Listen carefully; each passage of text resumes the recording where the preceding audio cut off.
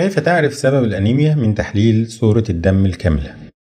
زي ما وضحنا في الفيديو السابق إن الانخفاض في الثلاث مؤشرات الخاصة بالأنيميا أو أي واحد منهم اللي هم عدد الخلايا الحمراء ونسبة الهيموجلوبين وحجم الخلايا الكلي بالنسبة إلى حجم الدم. بعد ما بتكتشف إن الأنيميا موجودة لابد من معرفة سبب الأنيميا حتى نعرف كيف نعالجه. علشان كده بنقوم بفحص باقي مؤشرات الخلايا الحمراء اللي هم الأربع مؤشرات الموجودين قدامنا دول وبنركز أكتر على عنصرين فقط. الأول هو متوسط حجم الخلية الحمراء التاني هو متوسط تركيز الهيموجلوبين في الخلية الحمراء.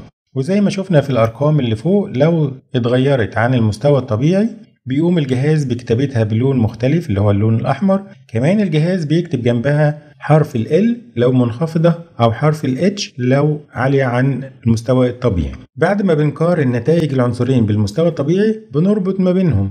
بمعنى إن كل سبب للأنيميا بيغير العنصرين بطريقة مختلفة. الاحتمال الأول بنلاقي زيادة متوسط حجم الخلية الحمراء ونقص في متوسط تركيز الهيموجلوبين. في الحالة دي سبب الأنيميا بيكون النزيف الحاد بكميات كبيرة من الدم أو تكسير خلايا الدم الحمراء داخل الجسم.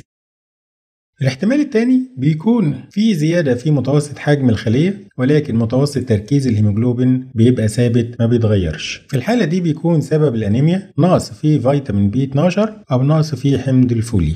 الاحتمال الثالث بنلاقي العنصرين الاثنين اللي هو متوسط حجم الخلايا ومتوسط تركيز الهيموجلوبين ما بيتغيروش عن المستوى الطبيعي. في الحالة دي بيكون سبب الأنيميا رقم واحد الالتهابات المزمنة داخل الجسم رقم اتنين أمراض الكلى المزمنة واللي بتؤدي لنقص الهرمون المحفز لتخليل الخلايا الحمراء الجديدة والهرمون ده بيتصنع في الكلية. عشان كده لما بيحصل تدمير للكلية بيقل إفرازه. رقم ثلاثة هو تكسير النخاع العظمي المسؤول عن تصنيع خلايا الدم لأن النخاع العظمي هو المصنع اللي بيصنع الخلايا الحمراء.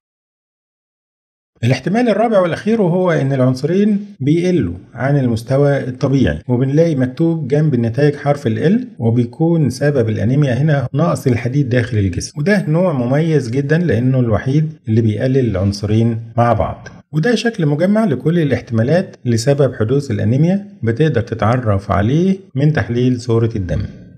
ولكن لازم تعرف إن في اختبارات أخرى لابد من إجراءها لتأكيد وجود الأسباب اللي إحنا قلنا عليها دي. مثلا لو أنت شكيت إن الأنيميا نتيجة لنقص الحديد يبقى في الحالة دي لازم يتم قياس مستوى ومؤشرات الحديد في الدم.